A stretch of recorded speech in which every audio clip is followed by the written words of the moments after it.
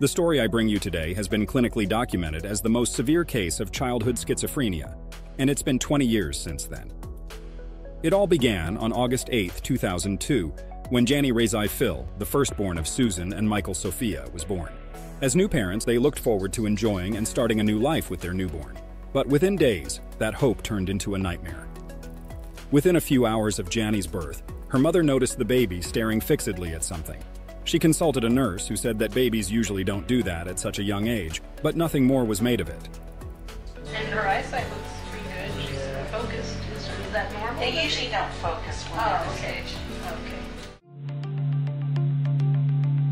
Okay. Back at home, nothing strange or alarming happened during the first week. However, on the seventh day, Jani began to sleep for only 20 minutes at a time. She would remain wide awake the rest of the time, sleeping only about three hours a day, while a newborn typically sleeps between 14 and 16 hours. They also noticed that she stared at the wall or followed something with her eyes as if tracking an invisible object. We have a video showing Jani looking at something moving across the ceiling and following it with her eyes all the time. Often, she would look at things that weren't there. By the time she was five months old, Jani's parents began to think her behavior was due to being exceptionally gifted, because she could already point to her own nose, eyes, and mouth at that age. When she was born, she seemed to know things she shouldn't have known. At five months, she pointed to her nose, eyes, and mouth. She knew all that and did things babies don't usually do, so we always thought she was gifted. We never considered any other possibility. At three years old, she started talking about imaginary friends and playing with them. Her parents thought nothing of it, attributing it to her vivid imagination. Everything seemed normal until she started mentioning 400, a bad cat that tormented her. 400 the cat, the day our lives changed. I remember at her third birthday party, she asked 400 the cat to throw juice at the twins. Thinking she was talking about an imaginary friend, I said it was okay and didn't give it more thought. Her parents noticed that Jani spent a lot of time playing with her imaginary friends, isolating herself from the real world. From this point on, her behavior became unacceptable. By the time she was four, Jani was completely isolated from her surroundings, didn't play with other children, and became violent towards everyone, including herself. Her parents tried to educate and control her using conventional strategies rules, timeouts, rewards, punishments, but nothing seemed to change her behavior. That year, her mother gave birth to another baby. By then, Jani was five years old, and this event worsened her behavior, making her more violent until one day she broke down completely. Out of concern, her parents decided to take her to Dr. Linda Wood, a specialist in child and adolescent psychiatry. Initially, she suspected behavioral problems, but the diagnosis progressed from ADHD to bipolar disorder. Yep, what really scared us was when Dr. Wood said she had never seen such a severe case. It terrified me. I couldn't understand how something like this had never been seen before. During this time, Jani's parents learned to live with her problem as no one else helped them beyond private consultations, until one day another turn of events occurred. That morning, Jani went to school looking fine and happy. Two hours later, I got a call saying she had run out of her classroom and was throwing herself against the doors and windows without trying to open them. They were so scared for her safety that they had locked her in an office. The psychologist told us that if we didn't arrive within half an hour, she would call the police, and I said that was fine. No one was helping us. We had no answers, so I reached the point where I was willing to let the state take over Jani's care to get her the help she needed. We allowed the police to intervene because it was the only way to get her admitted to the psychiatric unit at the University of California, where the experts were. Jani was admitted by law for a mandatory three day stay. We didn't know if she had Asperger's or another type of autism. Usually, children stay in psychiatric care for three or four days. Here, specialists ruled out possible disorders except one childhood schizophrenia. Dr. Mark DeAntonio, the director of the Child and Adolescent Neuropsychiatry Hospital in California, finally diagnosed Jani with childhood schizophrenia, which is very rare in children since schizophrenia typically appears in early adulthood, but it is not impossible. She has childhood schizophrenia, and it's a very clear case.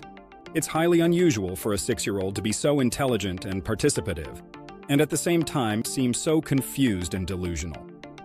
Jani's parents finally felt relieved, although the diagnosis wasn't good, at least they knew what they were facing. Jani was diagnosed with schizophrenia at six years old. Doctors believe she experiences hallucinations most of the time. When we talk to children with imaginary friends, they know they're imaginary but wish they were real. In children with schizophrenia aged 6, 7, or 8, medication often doesn't work well, which is why Dr. DeAntonio decided to prescribe clozapine, the most potent antipsychotic available for treating schizophrenia. Although Jani's behavior improved significantly with the medication, she continued to have psychotic symptoms, which was dangerous for her brother. Therefore, her parents decided to sell their house and buy two one-bedroom apartments in the same building. One parent would live with the boy and the other with Janny, maintaining a family environment during the day. However, the years of negative experiences broke the marriage, and Susan and Michael eventually divorced. This led to a media battle when Michael appeared on the famous Dr. Phil show. He accused his ex-wife of exposing their daughter's illness on a YouTube channel and of making their second child sick with excessive medication. Their son Bodhi also developed health issues similar to his sister's, but with severe behaviors that suggested an autistic spectrum disorder. The children's father accused their mother of giving Bodhi clozapine, thinking he also had schizophrenia. Susan posted videos on YouTube asking Bodhi if he needed the medication, almost forcing him to speak, which led to heavy criticism. That episode of Dr. Phil turned into a real show, with Susan convinced that her son also had schizophrenia. Bodhi was never diagnosed with anything, but he was admitted to the same psychiatric center where his sister had been. If you dig a little, you'll find that Dr. DeAntonio also handled Bodhi's case and spoke about it at the time.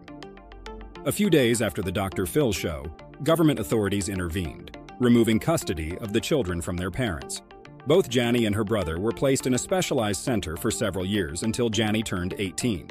The young woman then requested to return to her mother, and social services approved it, as investigations found no evidence to support the accusations against Susan. When Susan lost custody, she was forced to shut down her YouTube channel due to all the accusations. One of the most notable accusations was that she suffered from Munchausen syndrome by proxy, where a caregiver fabricates or induces illness in a child to gain attention. Today, at 20 years old, Jani has learned to live with her schizophrenia, and medication has helped control her symptoms. She is in high school and is currently very involved in charitable and social causes in California. She is also working with her stepfather on legal matters to get her brother Bodhi released from the center where he is still interned. Jani always says that she lives on the planet Calalini, which lies between the border of this world and hers, and with this, she implies that everything she experiences and feels there is as real as it is here. A couple of years ago, a band composed a song about Jani's case telling her story. If you want to listen to it, I'll leave the link below. So what do you think of this case? Did you know about it?